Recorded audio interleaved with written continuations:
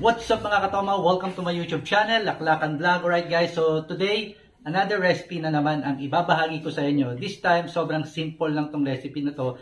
Napakadaling gayahin, napakadaling timplahin. You can do it yourself. Again, DIY cocktails lang tayo. And, low cost po to. Magagamit natin sa pang-araw-araw na inuman, especially pag meron tayo mga big and special occasions sa ating tahanan. Alright? So, let's start this. Alright mga katoma, so let's start the mixing. So ano ba yung mga kakailanganin natin? So first we need a dark rum, Savannah rum, Savannah 8. We need a grenadine syrup. We need a pineapple juice. And we need a orange juice. Plus a tower. Kasi ang gagawin natin is a tower cocktail. And this tower, tatawagin natin tong Zombie 8 cocktail. So let's do this. Alright guys, let's do the mixing. So orange juice and pineapple juice. So para mas mabilis, ito na po.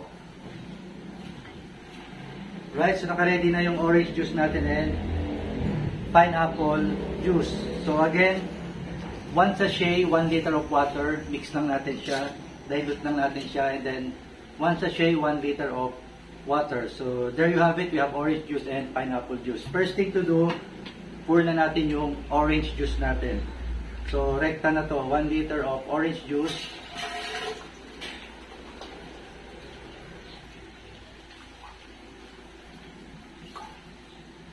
So again, locos lang yung recipe natin. That's why we're using tang powder juices. But then if you wanted na medyo upgraded or, or mas uh, premium cocktail yung gagawin natin, you can use yung mga uh, juices in cans such as Del Monte and other brands. So pineapple 1 liter.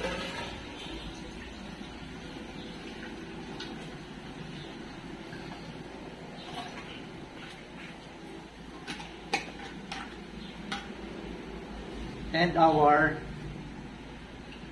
dark rum, Sabana 8. 1 bottle, 700 ml.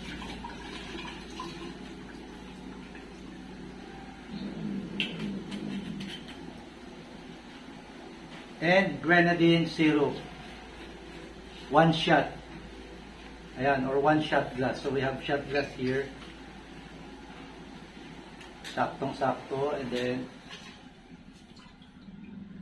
pour lang natin.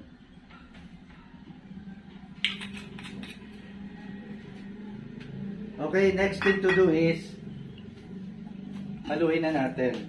So, easiest way, pinakamabilis, cover lang natin yung tower.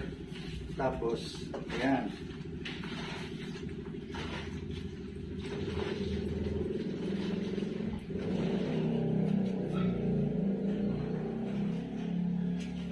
Okay, so there you have it. We have zombie cocktail by the tower. Yung remaining space natin, guys, so filled lang natin ito ng ice para mas malamig. Now, if you wanted to make it more darker color, gusto mo mas mapula, you should add grenadine. Okay? Pero tataas yung cost natin pag nag-add tayo ng grenadine and tatamis siya ng bahagya. Alright? So, let's try to taste this one.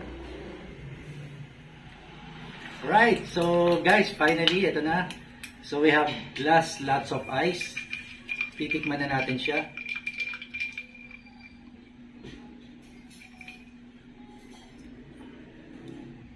Grabe. Yung lasa ng ram natin, nandito pa rin. Orange juice, pineapple na lalasahan. Tapos yung pinaka last taste niya, nandun na yung sweetness, yung grenadine syrup na lalasahan na natin.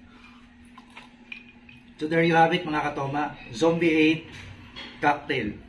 Cheers!